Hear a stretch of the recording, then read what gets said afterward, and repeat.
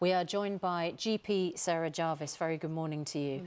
Um, this is a report finding that almost three quarters of trusts had a bed occupancy of 95% on at least one day.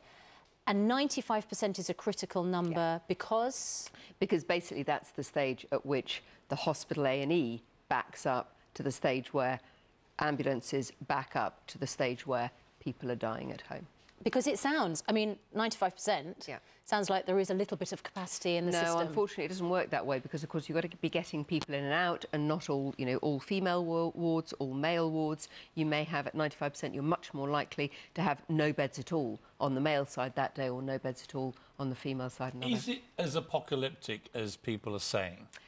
Yeah, pretty much, I think it's really? fair to say. Well, we're looking at, this is not just 15,000 beds cut in the last six years, we're looking at nearly 40% of beds cut in the last 15 years. Now, having said that, there are some positives in as much as I think we've got to accept that some hospitals will need to have beds cut because we need to make way for the super hospitals. And what I mean by super hospitals is, for instance, if you have a heart attack and you go to a little local cottage hospital, a little local district hospital, then your likelihood of surviving is much lower than if you go to one of the super centres where they've got all the facilities on site. You can have your scan within half an hour. You can be on the operating table within three hours, having the clot, having your arteries cleared. Fantastic. But a, what they're doing is not replacing all the beds in one place with another. And I think the real key, from my perspective as a GP, is that they're cutting the beds without putting the services in place in the community. Mm. And that means that when people come out, much, much earlier than they were, then there's no one to look after is, them. Is social care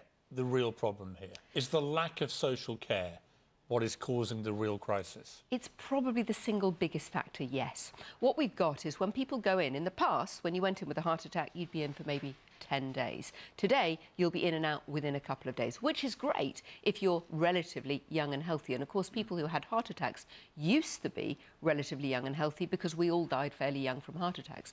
These days, we're a product of our own success. We're living longer and longer. Every decade for the last 50 years, life expectancy has increased by two years. So on average, we live 10 years longer than we did a generation ago.